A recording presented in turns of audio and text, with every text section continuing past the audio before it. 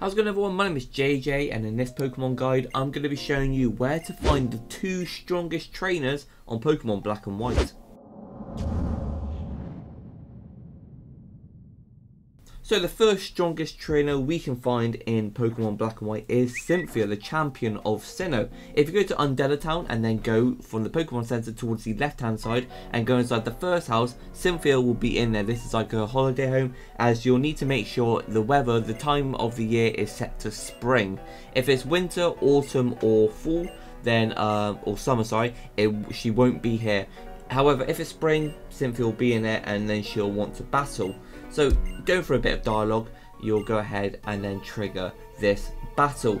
Now her team is obviously very strong. She is the champion of Sinnoh. She's going to start off with, with this Spiritomb that is level 75 and that's as weak as it gets. You've got your Spiritomb level 75, you've got Eelektross level 75, Lucario level 75, Braviary level 75, you've got Milotic level 75, and finally Garchomp level 77, who is her signature Pokemon. Once you've defeated all of her Pokemon, obviously you've won the battle. You can rebattle her once a day, providing it's still spring. So if you want to make life even easier and you want to kind of spam battle her, you can go ahead and change the date on your DS or your computer to the next day and then keep rebattling her over and over until you're done with it.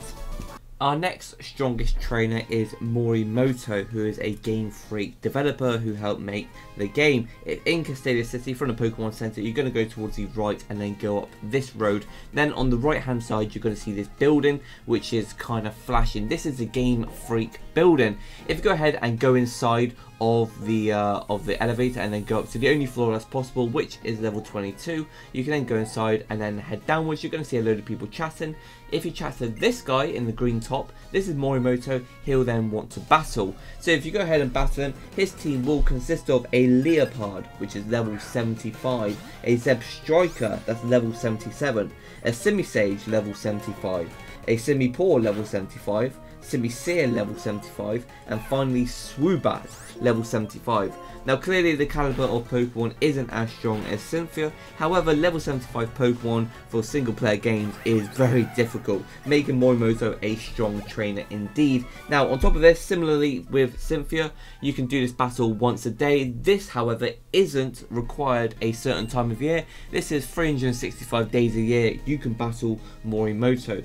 So if you change the date or time on your DS or your computer, you can do this unlimited times in one day. So you can keep battling them until you're kind of done with it. And with both of these battles, that being Cynthia and Morimoto, you can only do these battles once you've defeated the game. However, I feel that's pretty self-explanatory, seeing as their Pokemon are literally level 75 and 77. Nevertheless, that is where to find the two strongest trainers on Pokemon Black and White. If you're new around here, then I make simple Pokemon guides for all different Pokemon games, so be sure to like and subscribe. Thank you everyone for watching, and I'll catch you next time for another video. Bye.